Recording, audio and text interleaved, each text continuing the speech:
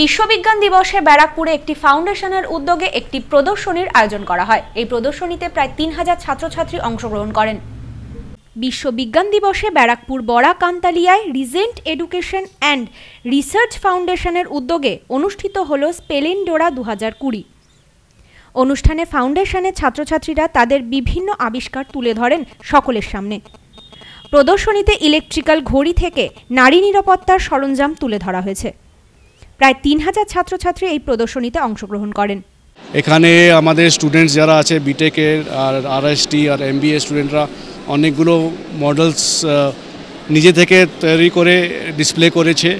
দে আর এক্সিবিটিং যে সারা বছরে যা, যে জিনিসগুলো ওরা লার্ন করে this is a stage way they can show what they have learn during the entire academic session এখানে আমাদের যে স্টুডেন্ট আছে এন্টায়ার পপুলেশন অ্যাবাউট তিন হাজার স্টুডেন্ট অ্যাটেন্ড করছি।